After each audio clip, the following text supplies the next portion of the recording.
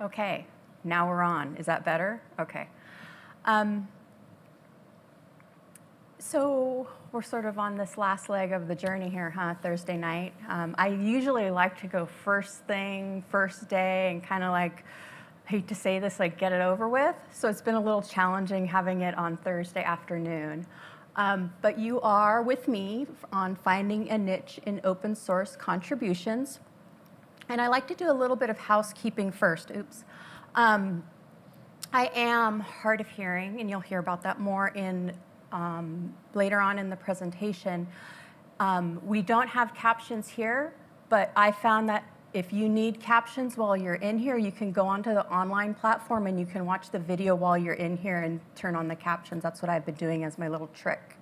Um, I do have lots of images in my slide decks, but most of them are decorative. They're fun, they're nice, but for the sake of brevity, I won't be describing them unless they add content. Um, for folks who maybe can't see them, the slide deck should be on the session node by now, and if you download it as a PDF, I have those images uh, tagged with alt text. So if you can't see them or want to know a little bit more about them, they do have alt text attached there. Um, this is my cat, Spot. Uh, he's Spotty McSpots a lot. That's his long name. We call him Spot for short. And the reason why I mention him is because he helps me code. So if there are any typos in here, it's his fault because he's late, on, he's late on the keyboard or something like that. My name is AmyJune. Um, never Amy, um, always AmyJune, title camel case for you programmers out there. Uh, I use the pronoun she and her this is a QR code if anyone wants to connect with me on LinkedIn. But across all the social medias, uh, I go by Volkswagen Chick, and Volkswagen is spelled with an E because it's a German word. And we'll hear more about why I have that name later in the presentation as well. And I'm not going to go into a, a, lot of what I do now because it is woven into the presentation and it'll be kind of redundant. But what I will say is that I am the community manager over at opensource.com, which is um, affiliated with Red Hat. It's a very unique role that I feel very privileged to have um, because it keeps me connected to the wider source, the wider open source community. And what are some of the things I do day to day and week to week? Um, I'm on the editorial team. Like I said, as the community manager, I help recruit new authors. I nurture existing authors, and I help really spread the word of open source. Week to week, I build relationships through social media. I attend conferences. I give talks. I run lots of events in open source. Um, and then, of course, I stay connected to the community from just being at events. You'll see this sort of table of contents as, as, as I go through this today. Um, but the first thing I really want to talk about is my life before open source. So I want to look at some of the things that I did in the past that help shape my present and most likely my future too. I grew up in Northern California. Most of my adolescent life, I was raised by my grandparents. You know, there was apples, uh, there were cows, a marching band, um, lots of siblings. Um, I come from a broken family. I'm the youngest of many siblings. Uh, I've never once lived with all of my siblings. Um, we've never been in the same room, let alone the same town all together at once. Um, we did not all live the same kind of life. I was a ward of the state until my second year in high school, about maybe my second year in high school. Um, and then I was adopted by my grandparents. Um, but I do want to admit that I had privilege. I grew up in Northern California. I'm white growing up in Northern California. I'm a woman growing up in Northern California. All of my basic needs were met. Um, I was able to study, get good grades, go to university, um, went to the local community college. But being the youngest sibling of many came with its challenges. Um, and granted, this is a very first world challenge, but by the time I came around, my grandparents were in retirement age, so the only car left was the broken down Volkswagen at the end of the cow field that had like a tree growing out of it, right? Um, At every stoplight, this car would break down. At every hill with altitude change, I'd have to go out and plug in the, you know, go around the back and plug in some spark plug wires and vacuum hoses. Um, and yes, the engine's in the back because it's a Volkswagen. Um, but I had this really interesting book called The Volkswagen Guide for the Complete Idiot. And with that book alone, I was able to like drive this Volkswagen all through town. So I want to fast forward till after college. I took a job at a Volkswagen machine shop in Santa Cruz. I learned how to tear down the engine. This is here outside the machine shop. I learned how to tear down the engine um, and rebuild that Volkswagen from its original parts. Mostly with the assistance from that Volkswagen Guide for the Complete Idiot. Um, there were shop manuals, of course, in the shop, but I found that all of those shop manuals made certain levels of assumptions of my skill set. They assumed that I actually had skills, you know? Um, adventure is really important to my youth. I spend all my holidays and vacations traveling around and visiting my family. Um, my mom lived in a new town every summer it seemed. You know, we went to New York, we went to Arizona, we went to Mexico City, Philadelphia. Um, and then during college, I took what I thought was a much needed sabbatical away from my you know, regular life and traveled all over North America, um, living out of a cab over recreational vehicle. You know, you might have seen them like the beds up above the van and that kind of thing. Um, I went with a partner. We left with no money. We traveled around and we sold jewelry out of recycled copper wire that we found. And we only sold enough to get to the next town, the next adventure, and have something to eat, maybe.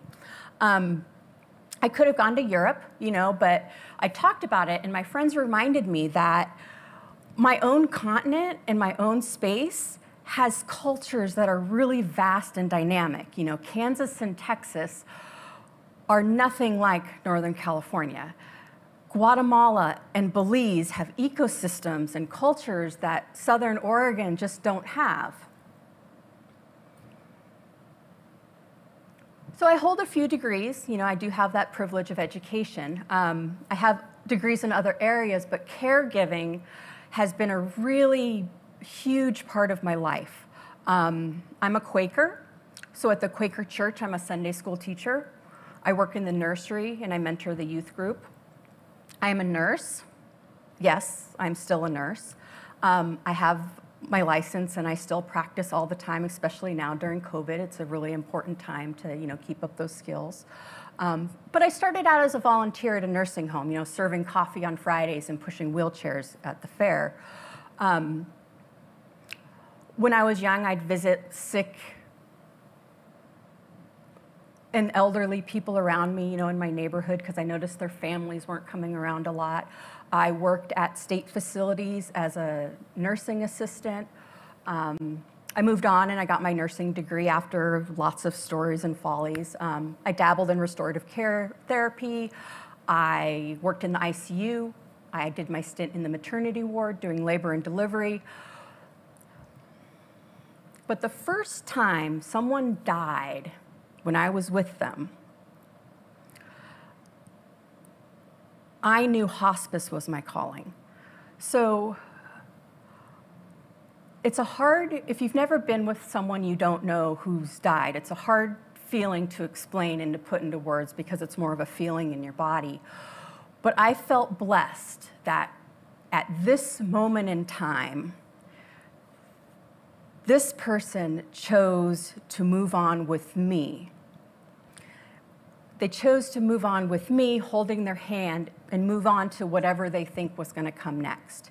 Um, so sharing that journey with someone has really shaped how I've lived most of my adult life.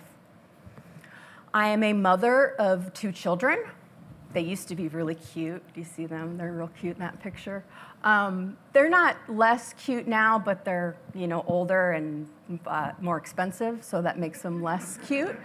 Um, We've lived through poverty, we've lived through divorce, we've lived through disease, and we've lived through some very poor decisions that I've made. But they're all grown up. I don't have a picture of them grown up because most of the time they're doing something that's inappropriate for me to share in a setting like this. But they're making their own decisions and they're like doing a really fantastic job at being really good humans. Later in life, I went back to school and studied communications. Um, I studied intercultural communications. I studied small group communications. I've studied interpersonal communications. Um, I was fired once and I didn't like it, so I thought I would work um, in the HR department at a Bay Area college.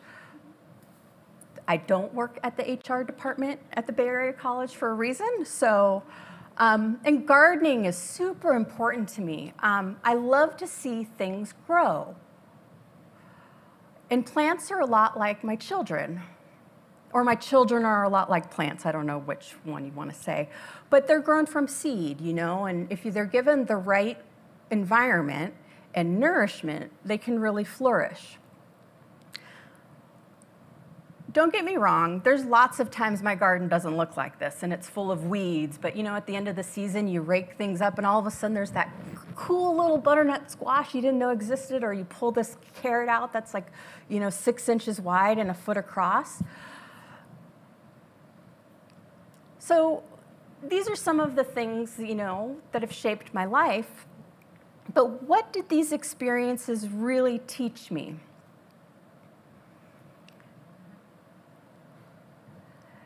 It doesn't matter who you are. It doesn't matter where you come from. We all die, and we all make who we think are our makers. And everybody poops. I don't know how many of y'all seen this children's book, but we are all the same, yet we're all kind of different, right? Every person has their own sense of self and beauty. You know, things can look the same on the outside. Here's a bunch of Volkswagens that all look the same, but they all have different kinds of engines on the inside, or maybe they have a radio, and maybe one of them has a radio block-off plate. Um, and then you can be very um, different on the outside. You know, all of these have different, different headlights and or different turn signals and different bumpers, and they're all different colors, and some of them have antennas, but they're all kind of the same on the inside. They transport people, and they have an engine, and they get to you to, to get you to where you want to go.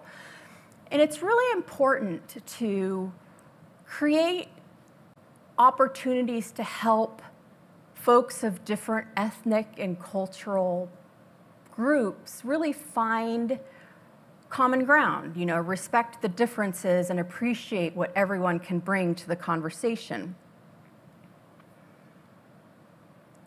We all experience love and fear, and it all looks a little bit different to everyone.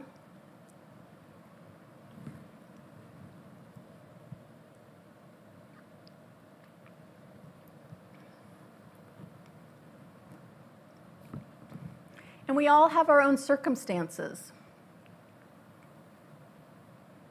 This was not the Volkswagen that my parents gave me. You know, it did have a tree growing out of it, but it looked a little bit better than that.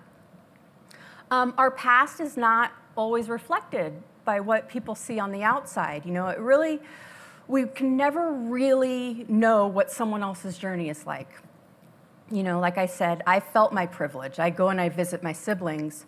Um, I was embarrassed by my privilege with my siblings. You know, they weren't blessed with the luck of being raised in Northern California. They weren't blessed with the luck of having all of their basic needs met. You know, there was poverty, there was abuse, there was neglect. Another important thing is that we all have our own beliefs, and that's okay. So let's talk about my journey into open source. Um, I don't have a computer science degree, and I'm not planning on getting one. I already have four degrees. I don't need another piece of paper. You know, it's just one of those things. Um, when I started open source, I didn't even have full command of a programming language. I still don't. I don't need it, right? Um, I had my obligatory WordPress blog, you know, writing about college and marriage and my kids and that kind of stuff. I took some HTML classes and CSS. Um, but that wasn't enough. So some of you may have seen this before. My roots are in Drupal, by the way. I'm in open source, but my roots started out in Drupal. Um, this is a chart of the Drupal learning curve. Um, it's taken from the seven stages of Drupal's learning from WebFX, and I have a link there, but if you go to the slide deck, you can click on it. The top line represents Drupal, and the colored lines underneath represent all the other CMSs that aren't really as good as Drupal. Um, so the Drupal curve is steep. It goes up and it actually kind of goes backwards a little bit before it evens out, right? But you can see there's like people hanging from it and falling off and the, the curve kind of stabilizes, but once you think you know it, there's something that pushes you off the edge again. So why would I go from a really, really comfortable position in nursing to this? A lot of the story is really personal, and I'm not going to tell the world and share it on the internet for longevity. Um, but it was time for a change. And ironically enough, one of the reasons I decided to get out of nursing was because the fact that everybody poops. Getting home from the end of a shift and finding someone else's poop on your elbow, there's only so, there's only so many times you can do that and like think like, am I in the right job, right? Like you don't even know where or when it happened, you know? Um, so I took my ball and went home because there was just a day that it wasn't okay anymore. So, you know, going back to that computer science stuff, it started um, with some content entry on a personal site. We have a, a, a small record label out of Santa Rosa, and I was entering content, but it wasn't enough. I wanted to dictate the look and the feel of the site. I wanted to um, know what the admin user interface was. You know, I wanted to do more than just content entry. I attended um, a tech event at Stanford Web Camp. Um, and it was so much different than any nursing or caregiving event I'd, or PTA thing I'd ever been to, right? It was, I stepped on this campus, I went to a session, and I went to their after affair and I realized and I had that moment that these were my people. You know, have you ever got that feeling like you just go someplace and you're like, wow, these people aren't like me, but these are my people. Um, so I did some research. I decided to take a, a, class through DrupalEasy. It's called Drupal Career Online, you know, um, and kind of learn some of this different stuff. So I want to talk about the learning curve I had, and it's a little bit different than that learning curve where you fall off a cliff. So this is a version that someone drew for me. And you know, it's that traditional timeline of content entry and site building and kind of learning code, right? And then you're kind of, you know, going back a little bit. Um, when I graduated from DrupalEasy, one of the things that uh, the administrators did for us was they helped us land internships. And they knew that mission-driven companies were really important to me. So they helped me find a support role at a mission-driven agency. But I'm not going to lie, like I had a really hard time. Um, it took me about two weeks to realize that code was not for me. I wish I would have known that before like taking all those Drupal classes, right? But um, every time I had to build a local environment. Now, granted, this is like six years ago, so building your local environments has really changed since then. But six years ago, like it would be tears and sweat and heartache and like just all of this grief just to get this local Drupal instance installed on my machine. You know, the other developers made it look really easy, um, but I struggled. And I didn't want to ask for help because, you know, I'm the only woman there. I don't want to like seem like, you know, this, this woman needs help, right? It was just this weird thing. Um, but I finally was vulnerable and I asked for help. and my mentor at the time said, I know you don't know what you're doing. I know that you don't know anything. We've just been waiting for you to ask. And it felt really good to know that they knew that I didn't know anything. I don't know what lesson I had to learn to like have to ask the question, but it really took being vulnerable because Drupal is hard. Open source is hard. Um, and I'm not saying that to be reductive. It is. It's a fact of life. It has this learning curve that we all kind of manage. Um, but Drupal and open source is more than code. And I discovered that code wasn't for me. So I learned to be confident in knowing that I didn't know everything. You know, it takes confidence to know that you don't know. Um, I had to learn the confidence to tell people that I was a beginner. I've never done this before, people, please help me. And that's something that really led my path to contributions. So these unique experiences bring these unique opportunities, right? Again, I had that privilege of growing up in Northern California. I'm a white woman. But can you tell from looking at me that I come from a broken home? Um, can you tell that I had to rely on scholarship to get to university? Can you tell by looking at me that I'm deaf in one ear and only have 20% in the other? You know, these are all things that aren't apparent on the outside. Um, I might have worked at a Volkswagen machine shop, but do you know that they made me stay in the back so customers wouldn't know a woman was working on their car? Little things like that. Um, I'm a public speaker now, but I used to be terrified to get up on stage, you know? Um, what's another one? Can you tell by looking at me that I'm married to a trans woman? Um, so when we make assumptions, it really kind of builds these walls and creates these like false personas that we project on people.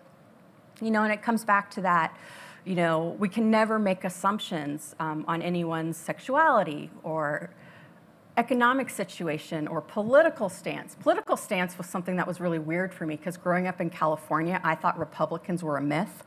So I didn't even know they existed. And so when they did, and I would talk like a Californian, it was offensive to some people. But I had made that assumption. You know what I mean? Like, I know that's a really weird thing to say, but I, I learned from that.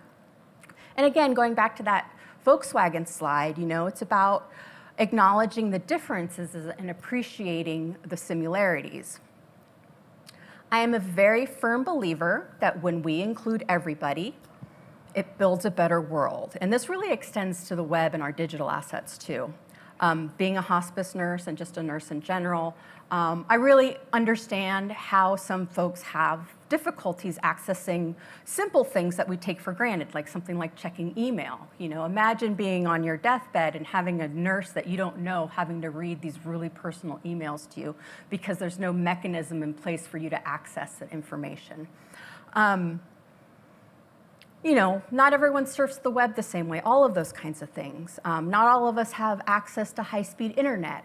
Um, I found that most of the ways I give back to open source come back to making sure that everyone's included, um, regardless of knowledge level, regardless of race, regardless of gender, regardless of abilities. And this means um, removing the barriers that come from when we build those assumptions. And we often hear lowering the barriers. Well, lowering the barriers isn't enough. You know, that isn't inclusive. It's about removing them completely. Um, and that's a really difficult thing for some people to imagine, like having a web that's open to everyone. But an example I like to give is that, you know, here, not necessarily this conference, but, you know, for a call for papers, you know, they say, you know, all religions are welcome, all abilities, all genders are welcome. But then maybe there's not a quiet space for prayer, or maybe there's not a foot washing station in the bathroom. So are you really being inclusive and inviting people that they can't practice what they believe in, in a space where they're presenting. You know, being invited and being included are really different. Falling down, I fall down all the time. Um, but if we think about all the times that we've fallen down, most of the times we've gotten back up. And there's an important thing about our failures is our failures don't hit so hard. We don't land as hard. We don't break as many bones, euphemism here, when we have support from our mentors. Um, mentors can be anyone who have helped you through an adventure that led you to where you are today. Now that you know what these experiences taught me, you know, let's move to um, how my failures lead to my triumphs. You know, it's about having compassion for myself. Um, having that compassion has really helped me take risks because I know that it's okay to fail. Confidence is linked to doing, it's an action word. Um, and experiencing failure can help you with that resilience. Underconfidence usually means a lack of action. It's cyclical, you know, our failures and lead to triumphs and they really, really do. Um, I didn't touch Drupal core for a while. Drupal cores is one thing, and then there's like contributed spaces. Um, I stuck to that contributed space. You know, if you're not in the Drupal world, sometimes they're called extensions or modules or plugins, that kind of thing. I kind of stayed on the peripheral of core and helped with the contrib stuff. When I felt more comfortable about a year later, um, I tackled an issue that was marked novice, you know, a beginner issue, right? Um, I painstakingly went through the code looking for all of the spelling mistakes. That was the issue was there was a spelling mistake. I felt accomplished. I submitted a patch, you know, I put that was needed for review. Uh, but then a core maintainer just came in and just sort of said, well, I don't even know what they said, but it wasn't very nice. They, you know, asked me if I had grepped the issue, and I'm like, what the heck does grep mean? Like, this is novice. Like, do, am I supposed to know what grep means? But the tone they had in this issue actually kept me away from core for about a year because they kind of had this gatekeeping language about them, and it didn't feel good. Um, I think they use things like just do this and it's so easy, right? And it's like, well, is it easy? Like, I don't know. Anyway, didn't touch core, stuck with the contrib stuff.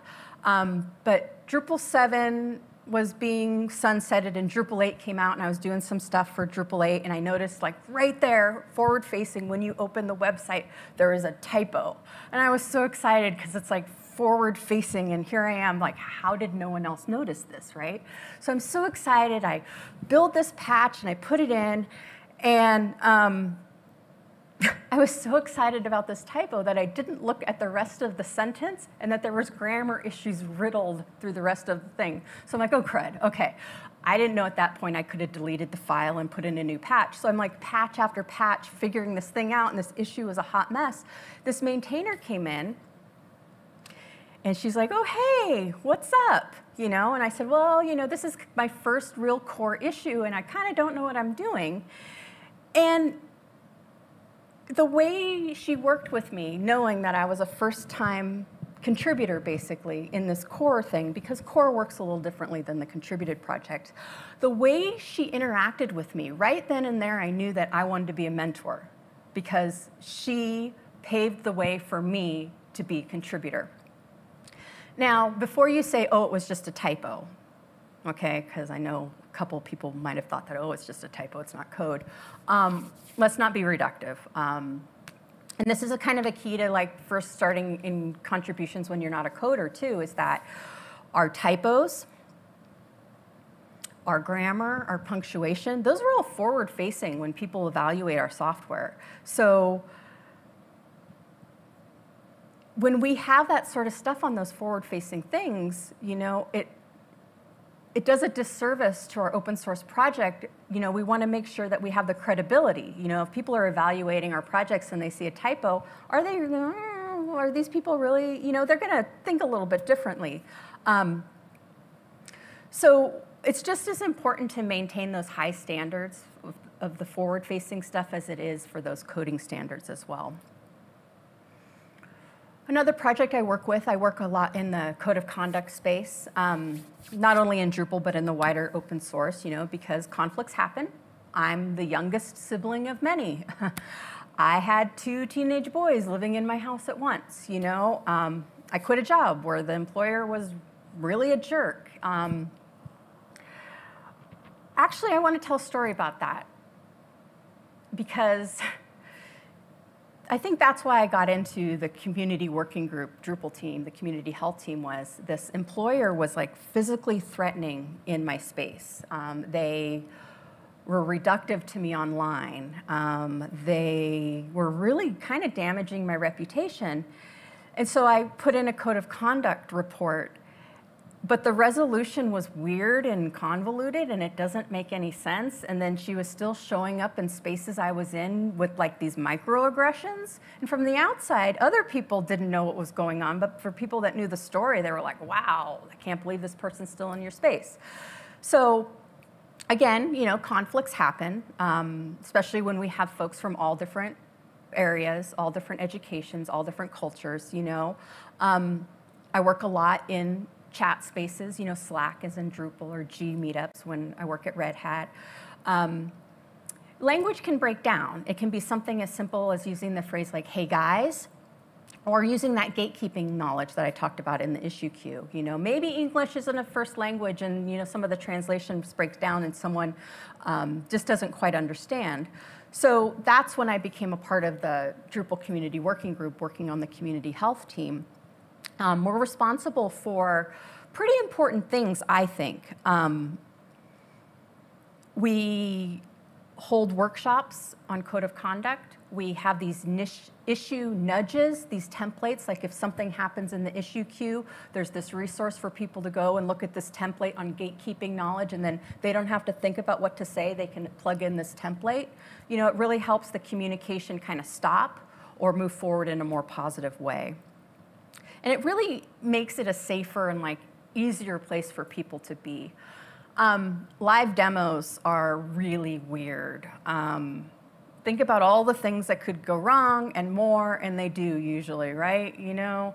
Um, I love giving pragmatic talks. I usually talk something about accessibility or you know how to write a patch, things like that. Something that people can walk away from, you know, and usually that live demo's involved.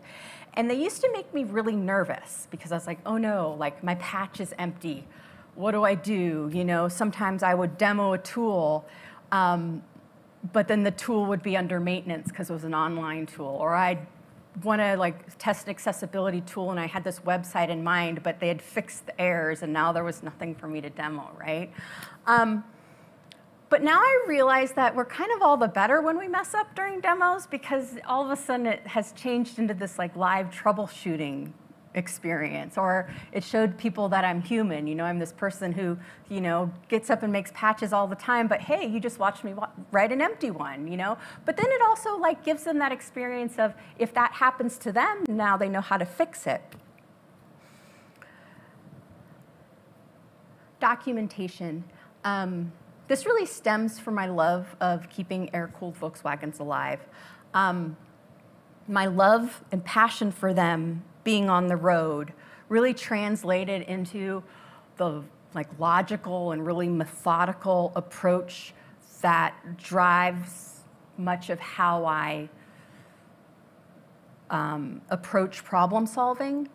And I'm a QA engineer too. I didn't mention that, but that's something that pays the bills sometimes because community management didn't always do that. So when I started in open source contributions, one of the more straightforward ways I could contribute was through documentation because there was always steps missing and me being a new person could find what steps were missing. Um, you know, being a woman at a machine shop was really hard. So I relied on those technical manuals to extend my knowledge. But remember I talked about how those technical documents didn't always have everything. Um, and when I when I was doing a service and they didn't have anything, I'd really become stuck because I didn't want to ask someone else for help. Um, so working at that machine shop really made me aware of how documentation should be written for everyone. Like developers don't always write the best documentation because they're writing from the point of view of a developer. So if we all kind of contribute, especially as people who are new, that really helps onboard the next person. And who better to test documentation than the new people? So now these experiences, you, you see, you know, kind of how I molded these experiences in my life into my path. But there's also this thing about following your passions because, yeah, you know, I got my feelings hurt and my kids fight and now I'm on the community health team. Is that fun? Might not be fun for everyone. So my failures led to my triumphs, but my passions led me there as well, you know, and I really encourage people to have your passions be part of that compass that drive you to what you want to do. Um, this is a screenshot of all the, well, some of the projects I maintain on Drupal.org. So you can see there's a lot of projects here, but what I want to point out is only a few of them are code projects you know, you can see Drupal core and you can see like, you know, Cloudflare bypass or simply test me or smart trim. But a majority of those contributed projects that I help with are community projects or events. Because there's so many more ways to give back to open source than just the code.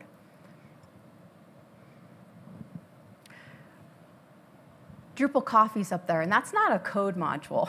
That's actually, we run a Drupal Coffee Exchange. How fun is that? We really like coffee, and so we meet a couple of times a year and we take a bag and leave a bag. But what's interesting about it is um, there's two people in our group who have landed jobs because of the connections they met at these birds of a feathers. You know, it's the networking part, the, the networking through something that you love, you know, having a cup of coffee and meeting people is a great way to get to know the community. I'm a very passionate person and again, love everybody, especially our beginners. I love empowering people to contribute. Drupal and WordPress run about 45% of the web.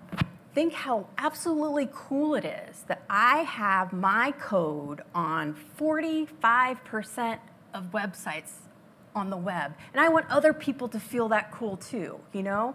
Um, without able inspired volunteers, the Drupal project or open source projects, they'll just kind of wither and die, you know? Um, mentors are the key to the success of maintaining our open source projects. Um, and it come like Drupal has a principle, I think it's principle number three, fostering a learning environment. Don't quote me on that one because I don't know them by heart, but um, it's about getting a person to contribute, but it's also about empowering them to be a long-term contributor. You know, I worked through my ranks of that first, that first patch, you know, that first patch. But then I was like, what can I teach people? Well, I know how to write a patch. And guess what? I know how to write a patch from the perspective of a non-coder. So now I've lead first-time contributor workshops. Um, I'm a community manager for Simply Test Me. I hate getting a local environment going, and I found this project called Simply Test Me, which allows you to spin up an environment all at once. But when I first started, the thing on the website, there's this big thing that said, you know, the forecast was cloudy with a chance of deprecation. I thought, oh no, I finally found a tool I can use. But that led me to being an advocate for the service. So now I help test the project. We've put it on a new framework, and I act as their community manager. Um, I believe the community is stronger when everyone's included, so I help with speaker and writer diversity workshops. So the diversity part is we really want to empower people from marginalized, no, excluded communities who don't always have access to everything to be empowered to write for things like opensource.com or give presentations at something like the Linux Open Source Summit. Um, I started it as a mentor in the WordPress space, but now I do it in more open source spaces. And um, what I do is I get up here and I also have someone else with me that I'm mentoring. And so the next time they can give the talk and they can mentor someone, it's a really cool thing, you know, but that comes from my love of wanting to hear everyone's voice because, you know, a few years ago when we went to conferences, we kind of all just saw the same person standing in front of us. I'm a hospice nurse by trade, so I run a meetup called A11yTalks, that's accessibility talks, um, where we have people come in and talk about diversity and inclusion and a lot about accessibility on the web. I run the San Francisco Drupal users group. I don't like running it. It's like the bane of my existence because that means I have to like drive and parallel park in San Francisco twice a month. But I do it because I want to keep a balance of experienced and non-experienced speakers. And then I also want to have a balance of the technical talks with the community talks. So why not have, be able to enforce my agenda by being the organizer?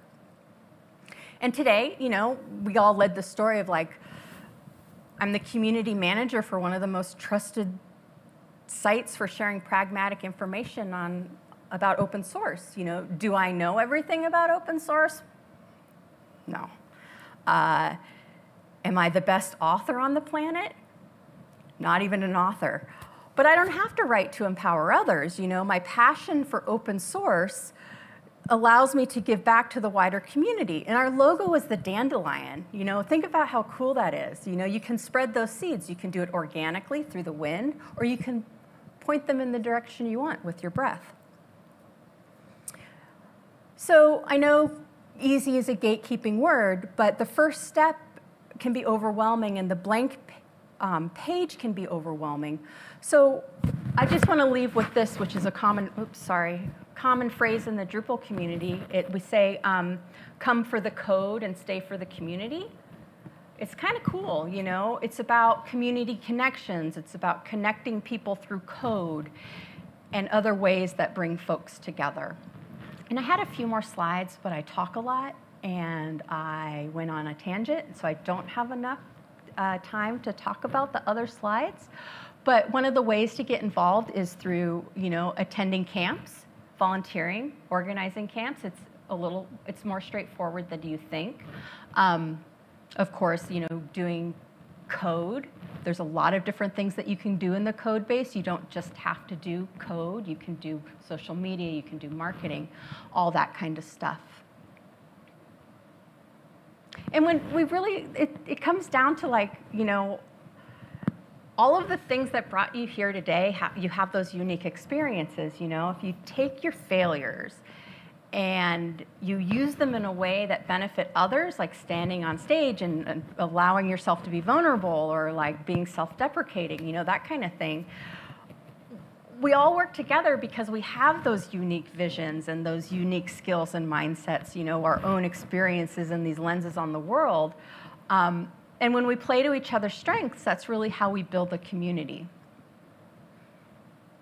And then um, there's my information again, like if you want to connect with me on LinkedIn, um, because I didn't get to a couple of the slides, but I would be more than willing to help people understand how community um, engagement works through organizing events and volunteer. I have a lot to say about that, lots of ideas on how to get started. And then if you do want to write for opensource.com, there's a QR code that you can scan that takes you to opensource.com and it tells you like, you know, kind of the basic information, but really the easiest way is just ask me and I can help you do that. It's a little bit more personal than just going to a website and reading some bullet points. So thank you very much.